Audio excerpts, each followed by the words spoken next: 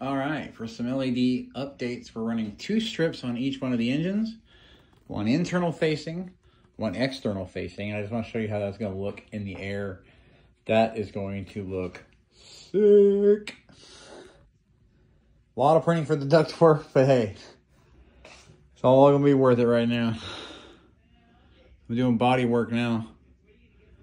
And then when this is all finished, it's just going to be so cool on the ground, just lit up and ready to go.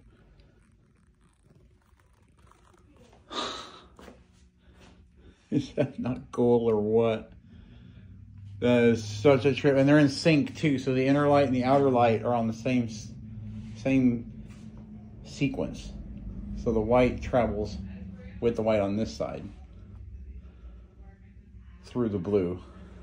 So everything looks uniform, as you can see, from this side. Is that not cool or what? Oh, a lot more work to do, but this is looking so, so cool. So awesome. Now remember this part here at the top, this is something I wanted to add to get that full UFO effect when we're in the air. These will be coming out on the bottom half of the drone too. And they'll all be printed in clear PETG. It's all NeoPixel. It's all hand soldered. I CADed all this and then I just did a um, uh, spiral vase for a tube. And then I made them each different lengths to kind of give them sort of that, sort of a more organic flow. But all that together